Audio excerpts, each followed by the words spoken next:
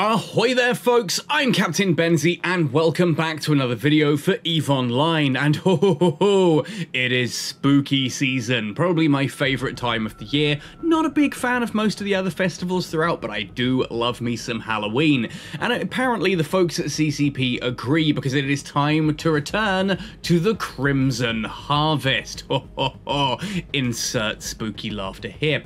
Now in this video I'm going to run you through everything that is coming as part of the Crimson Harvest event. This is running from the 5th of October so it is live at the time that you'll be watching this video all the way through to the 6th of November and there's a lot of really cool stuff going on so I am going to jump pretty much straight into this one. If you do enjoy this video, let me know, hit like, drop a comment down below. Both of those things help me out mentally and they help with the YouTube algorithm. And if you do want to be super fantastically awesome and help support the channel financially, I'll detail more of that later on in the video and you can see a load of names in the stars at the end of every video as a huge thank you to everyone who does support in such a way. Anyway, the Crimson Harvest returns. So yes, this is a wonderful bit of EVE lore, where essentially every Halloween period, the Blood Raider Covenant, everyone's favourite super aggressive bloodthirsty pirate faction based in Amarr space, decides to go on a little bit of a harvesting spree, shall we say. You then get the option of either joining the Blood Raider Covenant in their harvest, or siding with the Amarr Empire's Order of Tetrimon, which are kind of the the relic keepers of the Amarr Empire, I suppose? Kind of like how Capsuleer Day 20 worked, you are going to be able to pick one of those two factions to side with, and then jump into space and essentially help them out for some really cool rewards. On top of which, there are going to be some login rewards, there are some static changes to the game that are going to be happening for the duration now 5th of October to 6th of November, and there are some packs available in the store as well, which we will look at in just a moment. So first of all, what is the actual content? Well, here we have how to participate. Essentially, when you log in, you are going to be given the option of joining the Blood Raider Covenant or the Order of Tetrimon. You can open up the agency and go into events in order to choose this as well if you do close that window and you're looking for the way back. Pick a side, Blood Raider Covenant, Order of Tetrimon. Look for horrific combat and hacking sites throughout high sec, low LowSec, NullSec, and wormhole systems. Now, I imagine this is going to be like the Capsuleer Day 20 event where the hacking sites are available HiSec, LowSec, NullSec wormholes, whereas the combat sites are probably going to be exclusive again, or were they? No, they weren't. They were actually in wormholes as well. So wherever you are in New Eden, you are going to have access to this content. That's pretty exciting. Combat sites will appear all over as anomalies in the probe scanner. You won't have to scan them down. There'll be green sites that you can just warp straight to. It doesn't say here what type of ship you can fly. Again, if it's like Capsuleer Day 20, then they will be limited to battle cruiser. That was limited to, um, but I will update you all. Check the comment section. I'll put a pinned comment as soon as I know which ver you know what the actual limitation on those combat sites is. Now you can use the agency anomaly scanner to scan down sites and then warp in to take an, on a series of frightening challenges. So yes, as I said, it's going to be just click on the green things. You can also open up the agency and it will tell you probably also in the air, uh, what do they call it now, the new system, air opportunities. It'll be at the bottom there as well, where it'll show you if there are any of these in nearby systems that you can navigate to and jump in on. Kill all of the things, loot the stuff. There'll probably be some really cool, exciting loot in that. Finally, the big passive change that has actually been live for a couple of days already, and oh, it makes things very, very terrifying. Bring destruction in PvP and earn even greater rewards with loot drop rate increasing to 90%. So everything that is fitted to your ship, everything in your cargo hold, yeah, 90% drop chance. So ganking has become much, much more profitable. Be warned if you are moving anything, whether it's through HiSec, LowSec, NullSec, or J space, make sure you've got scouts with you or you've at least taken the necessary precautions in order to survive because whereas that 1 billion ISK hauler that you were get, uh, moving around before might have dropped half a million, now it's going to drop closer to 900 million, 0.9 billion in loot out of a 1 billion ISK ship. Yeah, you are much more lucrative targets. PvP is a bigger thing. It's kind of proves that EVE Online knows they don't need to add big scary monsters or your typical Halloween slasher film, you know, kind of Hollywood monster thing to make something scary. No, all they need to do is just find a nice little incentive to get the players to turn on each other. Welcome to the Crimson Harvest. You are being hunted very exciting. Also, just as a fun little aside on that one, note that if you do look at the wrecks as they are in game now, they're all little cute pumpkin icons, which makes me a lot happier than perhaps it should do. Reap the Grim rewards. We have daily login rewards as well. I will showcase these properly in just a second. It says here um, about 250,000 skill points for Omega and 75,000 for Alpha Capsuleers. It does point out that actually that is a lot more later on. 55, uh, 550,000 skill points readily available and some really cool skins. So let me just alt tab into the launcher here and you can see, in addition to your usual daily rewards, let's just grab this. How many skill points do I get? Oh, 15,000. Nice. We have our daily login rewards here. Now, the alpha track is available to obviously alpha players, and there are apparently a load of these we can go along and see all the way up right to the end here. There we are, 33 days of these available. Uh, Alpha will get the top track, Omega will get the bottom track. And if you upgrade to Omega at any point during this, you will unlock all of the previous Omega rewards. So if you got all the way to day 33, you've claimed everything, and then you activate Omega, boom, all 33 days of Omega rewards are unlocked for you as well. And there's some really cool skins in that long here. Load of skill points, 550,000 worth.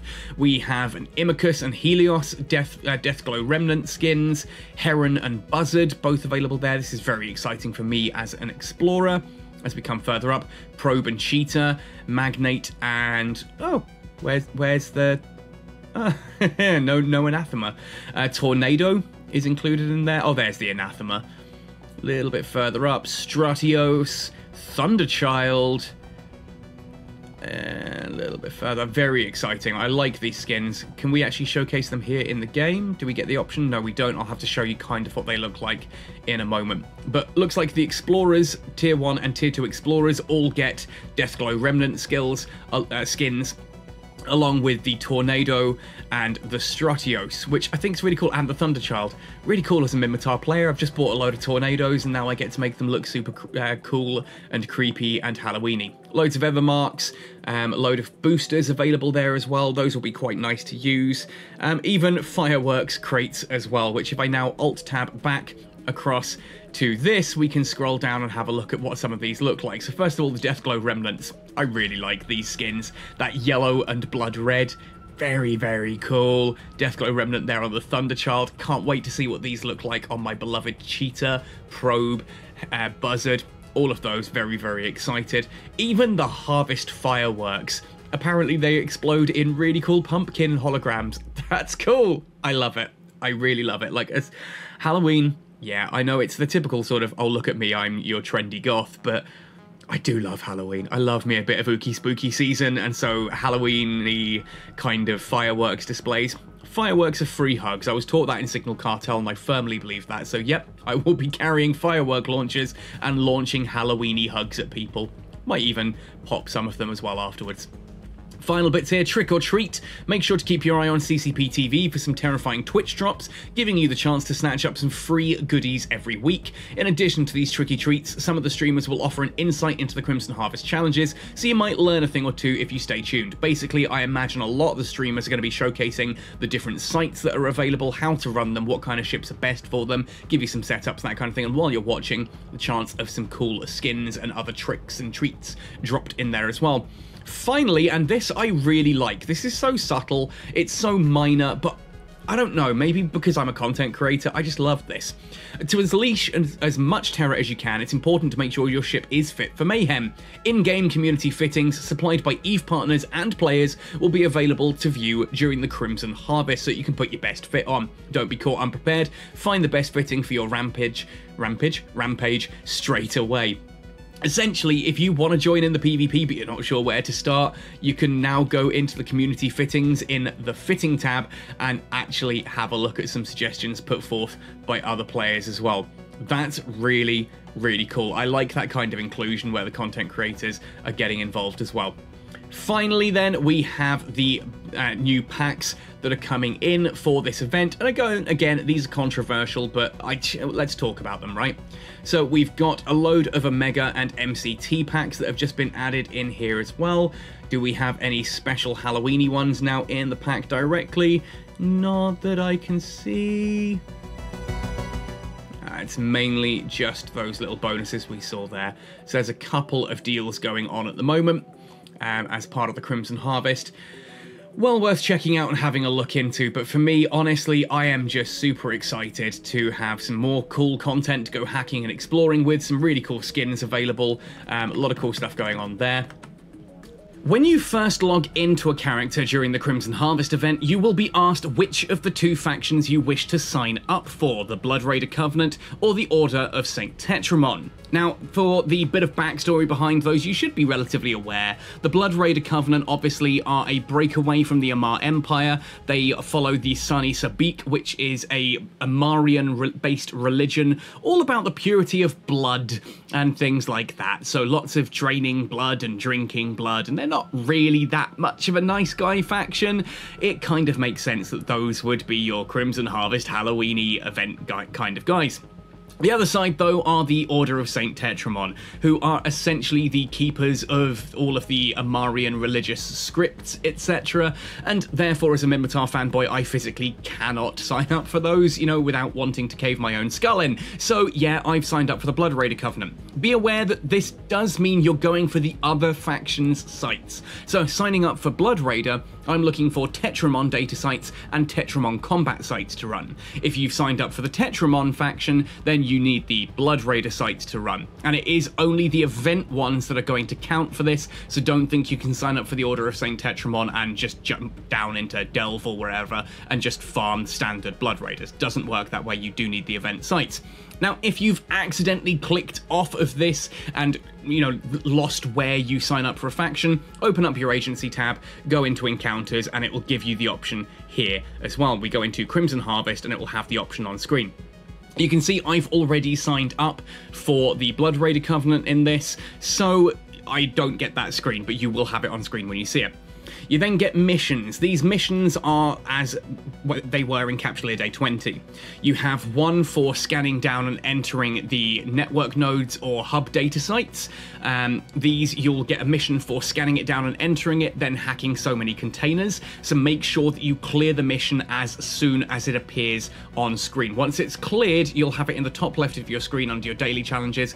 Click it, clear it, then run the site. The worst thing you can do is warp into a site, clear it all, and then claim the mission for having walked in, and your next one is now hack so many containers, and you've already done them all. So clear as you go. The combat sites, again, it is first of all enter a site, then it's kill, I think, 10 ships as basic, and then kill the battleship at the end of it. There are two rooms to these. There are also rats on the entry gates. Be aware of that. So it's technically three rooms. Um, two of them are behind acceleration gates. As for what you can run these in, I haven't been able to test what ship size can run in these. I imagine, though, from the difficulty of running the site, it's going to be locked to battlecruiser or below. Definitely something like your standard Ratting Drake should do fine. I ran a site with my Vagabond, the one that I've showcased in my C3 Heavy, uh, heavy Assault Cruiser video. I'll put the link in the description of this video as well, just for those who are interested in what I was running, but it had zero issues at all. Obviously, you're going up against a lot of Amarr ships. Expect to be taking electromagnetic and thermal damage, expect to be dealing with Amarrian resistances, and there's a lot of neutralization, webbing, scramming, and pointing going on. So do be aware that when you warp into those sites, you are going to be scrammed, you are going to be webbed, you are going to be neutered. Take that into consideration before jumping in.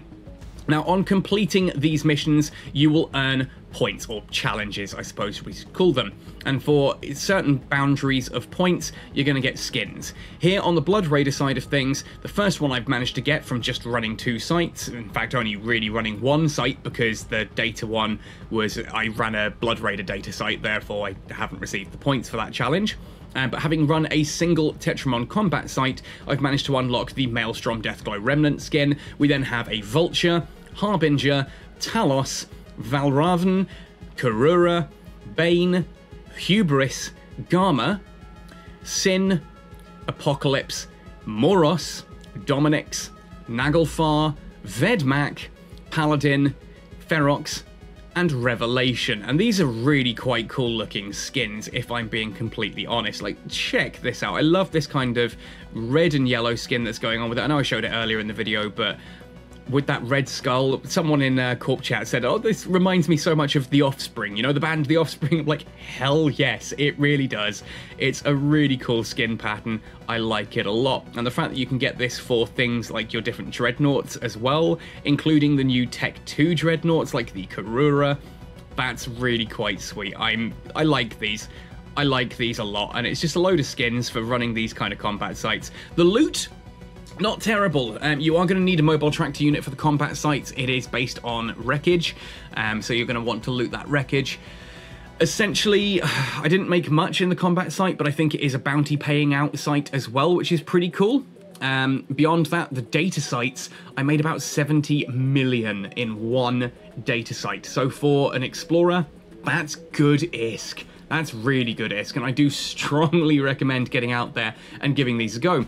Be aware though that obviously this event does have that wonderful 90% loot from PvP kills. Uh, go, not only are these sites going to be popular because people want to run them to get the skins, you're also going to be nice and easy to get ganked in because people are going to be wanting to gank during this event and, you know, get the 90% drops from your wreckage.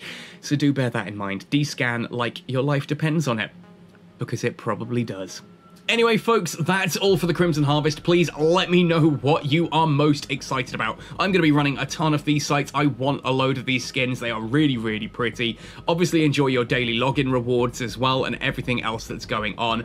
Let me know what kind of fun you're having. In fact, yeah, I've just had off the side of the screen there, a bounty payment has come through, even though I'm based in J-Space. So even in wormholes, the combat sites are issuing bounties. Six million ISK uh, bounty for that one site. Not bad at all. Good luck, folks. Happy sailing, and see you in New Eden.